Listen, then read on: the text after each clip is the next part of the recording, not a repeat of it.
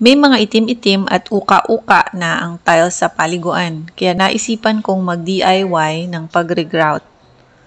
Gumamit ako nitong mga tools para magkaskas at magtanggal ng madumi at linisin ang nasira ng grout.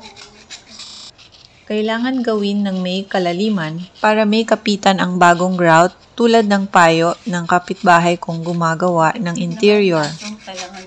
Matapos masigurong malinis na sa abot ng aming makakaya, gumamit ako nitong antibacterial biocide grout at waterproofing solution. Galing sa napakinggan ko kay Slater Young. At pinatuyo ko sa loob ng 24 na oras.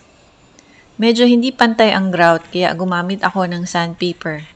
Naisip ko kasi tuloy-tuloy dapat ang tubig sa drain pag makinis ang sahig. Nilinis uli ang mga alikabok at ginamitan itong grout sealer.